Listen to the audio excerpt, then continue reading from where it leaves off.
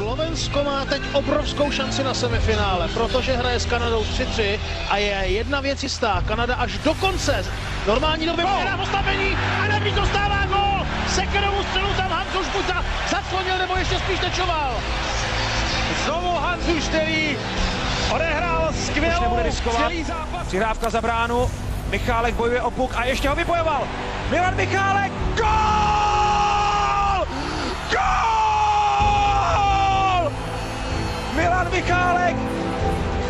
29 sekund před koncem základní hrací doby, dává gol na 4-3. Tak to je